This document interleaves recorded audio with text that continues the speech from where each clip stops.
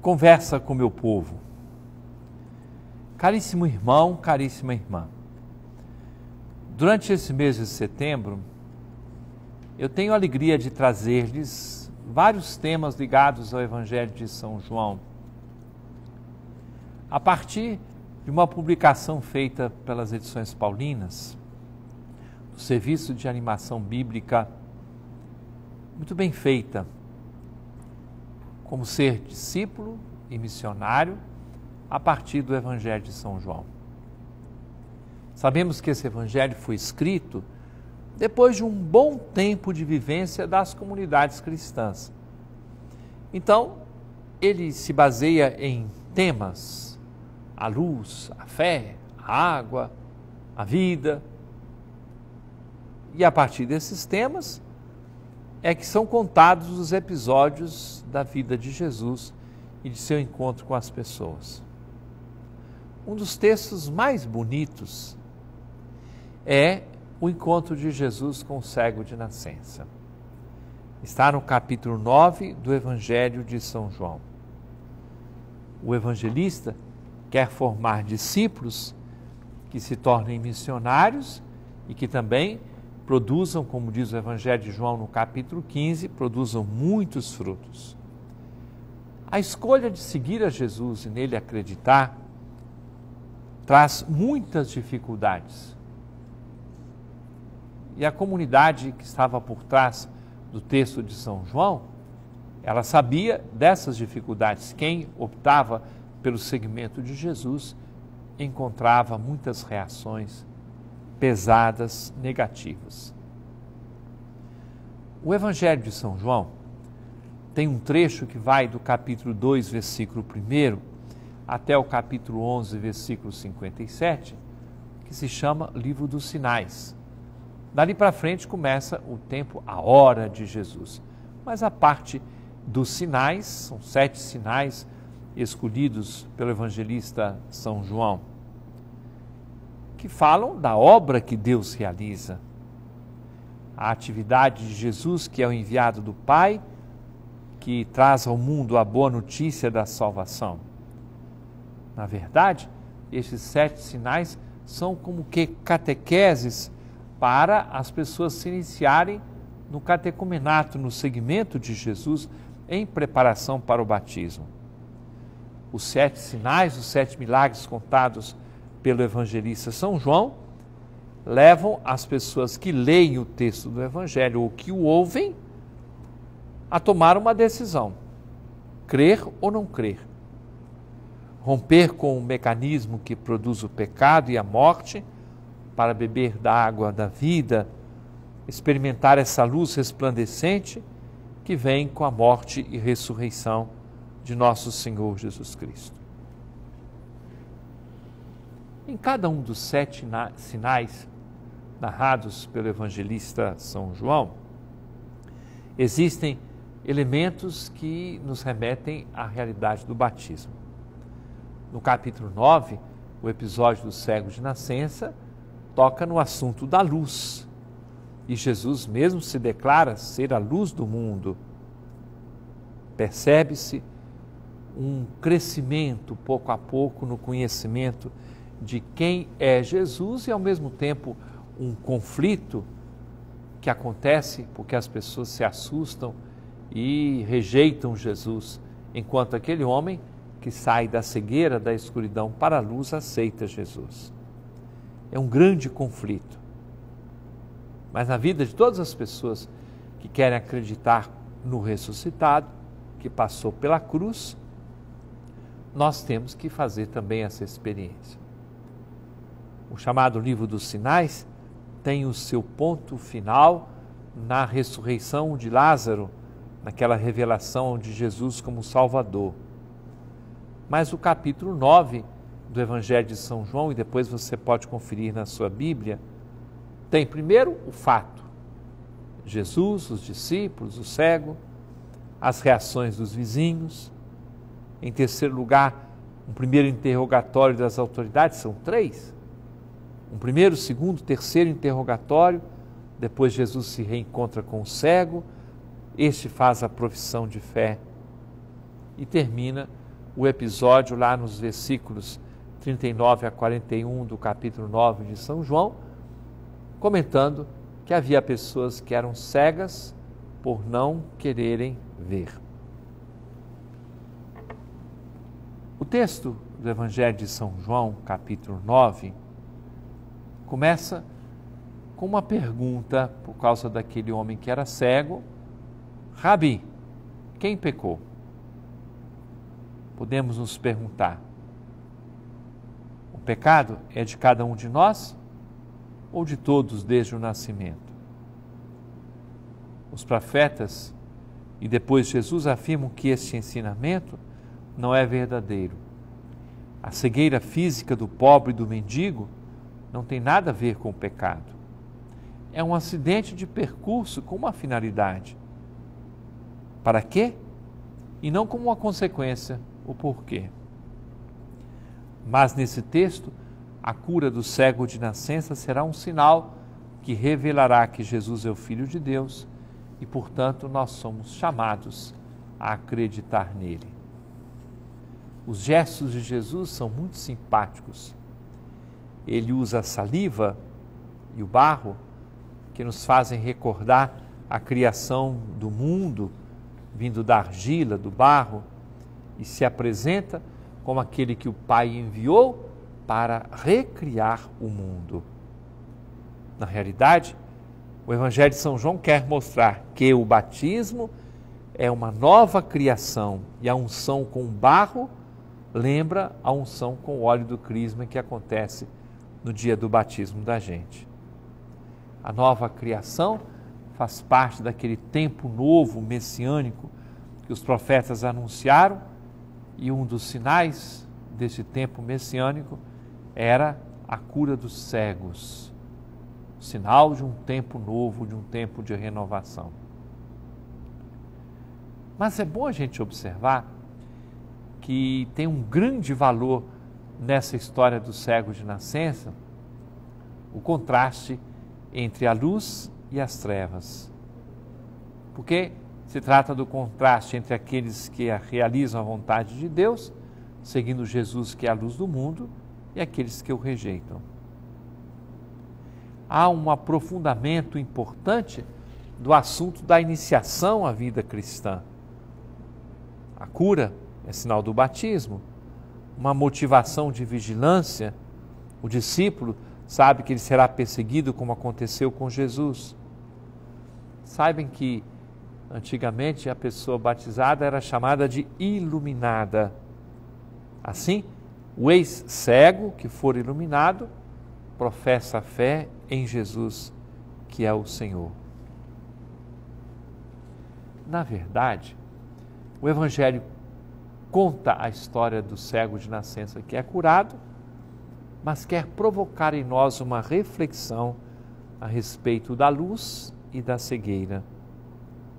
O cego enxerga cada vez melhor e aqueles que pensavam ver tudo cada vez se tornam mais cegos. Porque não se trata só de curar esses olhos, mas deixar que a luz da fé entre no coração das pessoas. O cego se torna discípulo de Jesus e testemunha para anunciar aquele que é o verdadeiro mestre, aqueles que eram considerados mestres da lei. Somente quem conhece Jesus sabe que ele vem da parte de Deus. Somente quem entende Jesus dessa forma pode fazer as obras de Deus, inclusive no dia de sábado. Na pessoa do cego se enxerga um processo do conhecimento de Jesus. Ele é mestre, ele é enviado, ele é o profeta, ele é o Messias, ele é o Filho do homem, ele é o Senhor são títulos que são atribuídos a Jesus. Os vizinhos duvidam, inclusive, da identidade do cego. Será que alguém está enganando? Percebe-se aqui o grande conflito que acontecia entre as próprias autoridades e aqueles que estavam abraçando a fé nas primeiras comunidades cristãs. E como as pessoas e as comunidades progridem no conhecimento de Jesus até o ponto de dizer Ele é o Senhor, como espero que todos nós saibamos fazer. Os fariseus querem desacreditar Jesus, pois ele viola a lei do sábado. O cego curado, ao contrário, professa que Jesus é um profeta. Seria muito interessante se você puder ler no livro do Deuteronômio, capítulo 13, versículos 2 a 6, onde se fala dos falsos profetas. Os fariseus, então, pressionam os pais do cego a negarem os fatos. Os pais tinham medo pois sabiam que seriam expulsos.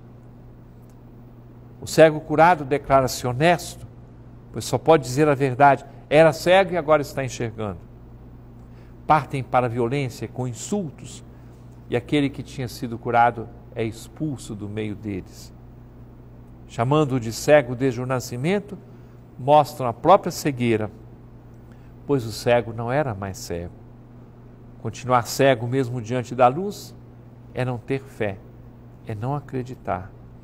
É autossuficiência daqueles que não querem saber de nada, que questione o seu esquema pessoal de pensamento e de poder. O ex-cego, ao ser expulso, torna-se igual a Jesus, uma vítima inocente. E aí, este homem se encontra com Jesus e se dá a proclamação madura da fé. Eu creio, Senhor e cai de joelhos em adoração. No final da história, nós temos Jesus, os fariseus, o cego que tinha sido curado. E acontece o julgamento provocado pela atitude de fé ou pela incredulidade. Eu vim a este mundo para um julgamento, a fim de que os que não veem vejam e os que veem se tornem cegos. O pecado dos que dizem ver não é tirado pelo Cordeiro de Deus. Lembram-se que no início do Evangelho de São João, Jesus é chamado de Cordeiro de Deus. Por quê? Porque não querem acreditar e o pecado é mais ainda denunciado. São cegos para a luz de Cristo. O ditado popular diz que o pior cego é aquele que não quer ver. E na liturgia do batismo, baseado no texto da carta aos Efésios, existe uma expressão bonita Desperta tu que dormes, levanta-te dentre os mortos, e sobre ti Cristo resplandecerá. Portanto, a pergunta fundamental a ser respondida pelo cego de nascença, por você e por mim, é: afinal de contas, em que você acredita? Permaneça conosco, meu irmão, minha irmã, daqui a pouco estamos de volta. Conversa com meu povo. Caríssimo irmão, caríssima irmã. Durante esse período que precede o Sírio, acontecem nas várias cidades que compõem a Arquidiocese de Belém muitas visitas com a imagem peregrina de Nossa Senhora de Nazaré.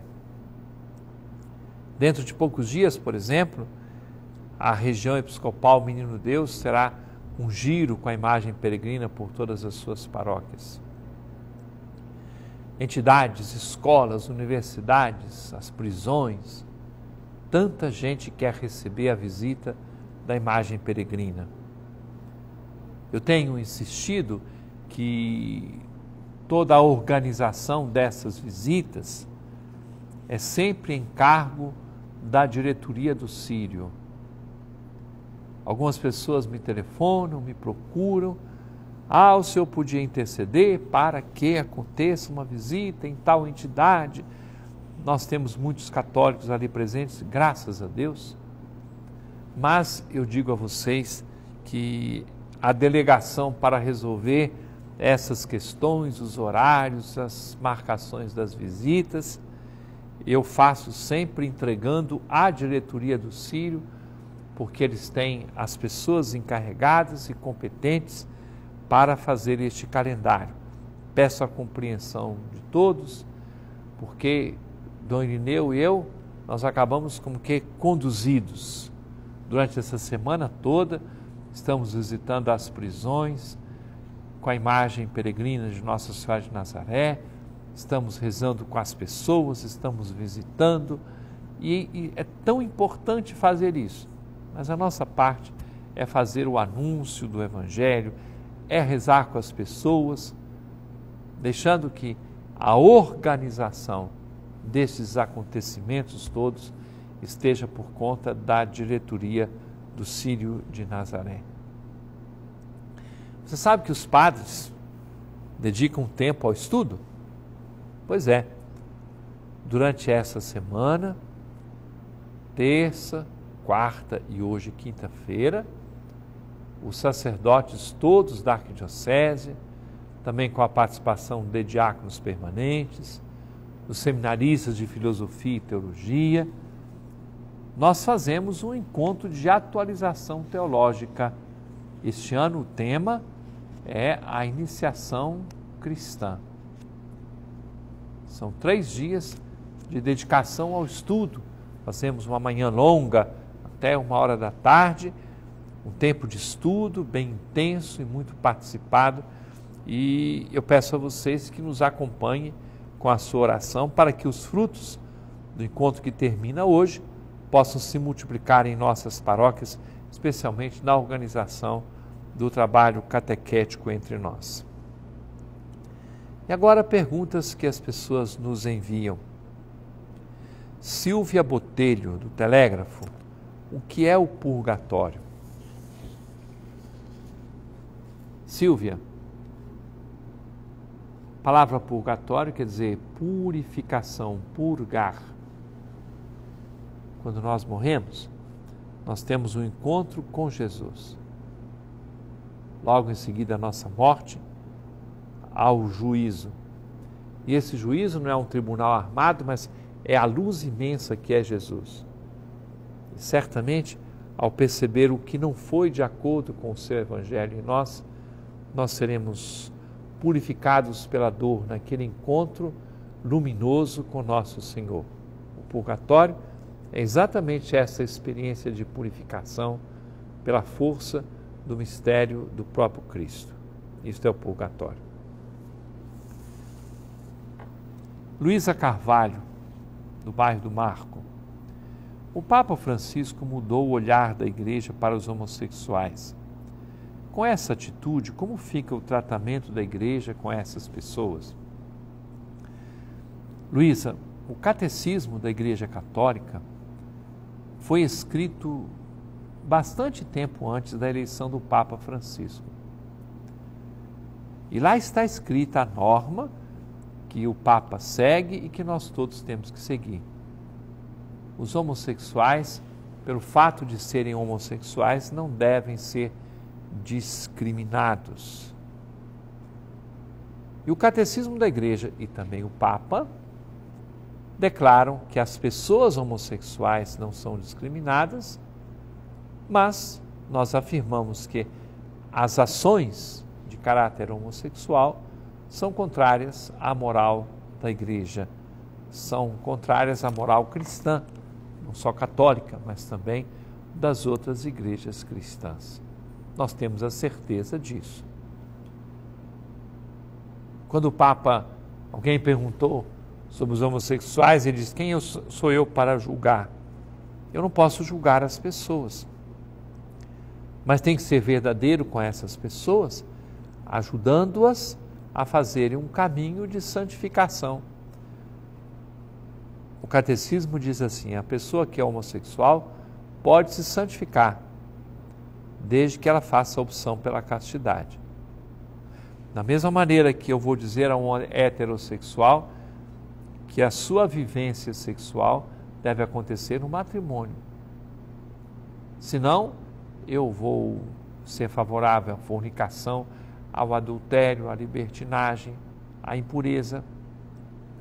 A orientação é para a vivência da castidade, seja para a pessoa solteira ou casada, seja para quem é heterossexual ou a pessoa que eventualmente tenha uma tendência homossexual. A atitude da igreja tem que ser de verdade e misericórdia. As duas coisas precisam caminhar juntas. Maria do Socorro. A nossa igreja tem um grande trabalho social. Pediria para o Senhor, em seus programas, falar de alguns desses trabalhos. Há poucos dias, uma pessoa foi fazer uma visita, uma religiosa, a irmã Carmen, que trabalha conosco. Ela foi em preparação de coisas do Congresso Eucarístico e conheceu aquele grande complexo ali dos pobres servos da Divina Providência, em Marituba, o abrigo João Paulo II, hospital, ambulatório, escolas, serviços sociais. É uma coisa impressionante. Isso é um dos pontos. Isso aqui é da Arquidiocese de Belém. Não é que nós sejamos agora ricos para dizer temos todas essas coisas, não é isso não. Tudo aquilo que nós temos através da própria arquidiocese, das congregações religiosas, é para servir, é para fazer o bem. Pensemos, por exemplo, nas várias creches que são levadas adiante pela paróquia de Nossa Senhora de Nazaré aqui em Belém. Pensemos nos trabalhos da Sociedade São Vicente de Paulo, nos trabalhos realizados pela Caritas, em centros de atividade de promoção humana. A Arquidiocese, graças a Deus, tem uma atuação muito forte nesse sentido. Pensemos nas iniciativas, por exemplo, o Belém Casa do Pão que nós fazemos cada ano, ou o trabalho da Cartas nas nossas ilhas, eu agradeço muito, Maria do Socorro, por essa pergunta que nos faz colocar em relevo o bem que é feito em nome de nosso Senhor Jesus Cristo para o crescimento do Evangelho. Josilene Macedo de Quaraci, a unção dos enfermos perdoa os pecados?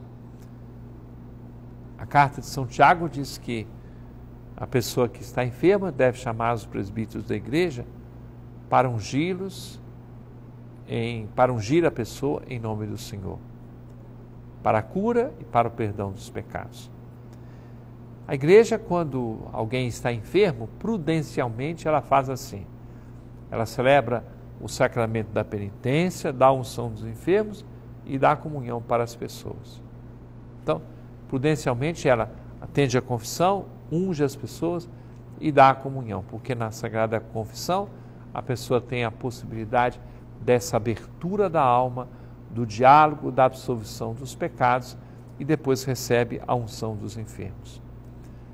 Eu passo na rua e vejo um acidente.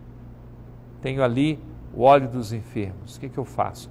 Eu dou absolvição para a pessoa, dou a indulgência plenária e unjo a pessoa são graças assim, graça sobre graça para que a pessoa receba o perdão de Deus e se apresente diante de nosso Senhor. Depois uma outra pergunta que veio sem identificação, mas é apenas é, a Igreja Católica discrimina os homossexuais, que eu reforço a resposta que dei agora mesmo a respeito dessa questão dos homossexuais. Abençoe-vos o Deus Todo-Poderoso, Pai, Filho e Espírito Santo. Amém.